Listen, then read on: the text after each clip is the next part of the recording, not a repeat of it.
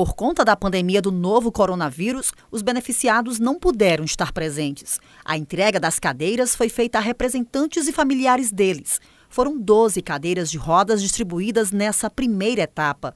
Uma iniciativa da APAI, Associação de Pais e Amigos dos Excepcionais de Caxias, por meio do SUS, e que tem parceria de vários órgãos e empresas de iniciativa privada. Nós temos um programa SUS, né? Desde 2011 auditivo e 2017, no final de 2017, a gente passou também a dispersar ó, próteses físicas, órteses e próteses físicas, cadeira de rodas, cadeira de banhos, cadeiras tetaplégicas.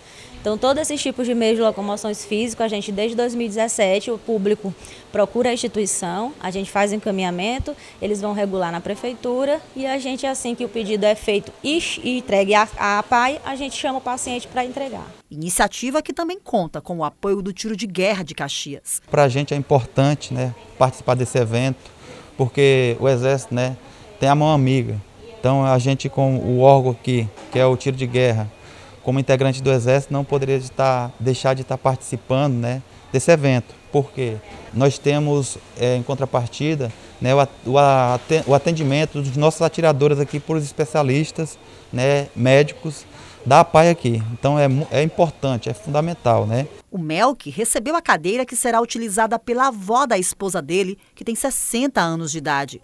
Fala o que achou da iniciativa. É uma ajuda para ela se locomover, a gente levar ela para fazer as compras, ir no banheiro. E quando a gente vai em Teresina também, né? É, é difícil se locomover com ela, porque ela, ela não consegue se manter em pé, né?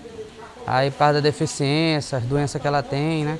Debilitou ela. E graças a Deus tem essa iniciativa da pai, né? Este mototaxista veio receber para outro beneficiário. O pai dele está ocupado e pediu para me pegar para ele. É um idoso? É idoso. Além das 12 cadeiras, está prevista ainda a distribuição de 54 cadeiras de rodas que vão contemplar 87 municípios do estado. Para que outros usuários possam ser beneficiados, é necessário que estes ou seus familiares procurem a instituição. Nós temos um público muito rotativo. Na questão de OPMS é realmente muito rotativo, mas a gente recebe em média 50 a 60, depende muito do mês, dos pacientes para prótese, para órteses e próteses físicas e aparelhos auditivos. Mas o nosso público atendido no município, também que é regional, da nossa regional de Caxias, a gente tem em média 1.200 atendimentos mês.